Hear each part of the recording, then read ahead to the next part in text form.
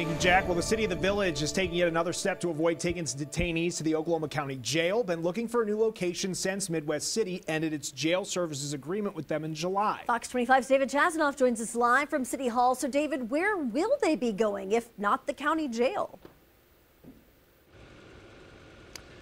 Adam and Wendy, the city of the village says it wants to take its detainees to the city of Yukon. The vice mayor says this will be a beneficial deal.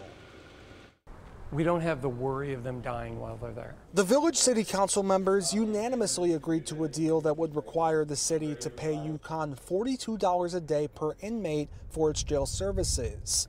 Yukon city leaders still have to sign off on this, but Cummings gave a preview of what this plan would look like. So it's our job to take them to the hospital or anything else they need in the meantime.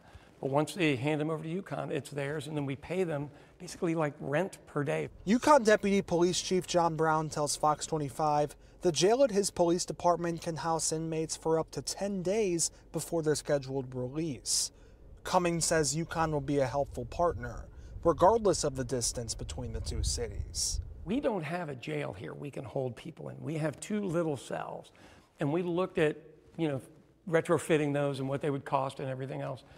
Um, this is obviously easier for us. Cummings claims this would be a much better option than the Oklahoma County Jail.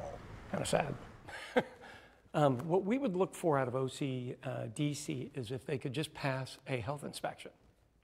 They've failed uh, health inspections, not just by a little. While this deal is not official just yet, Yukon Deputy Police Chief John Brown says his department is committed to working together with the village to uphold the safe and secure housing of inmates. It's a future Cummings says he's looking forward to. If you spend a little time down at the jail, you'll see why we're doing it.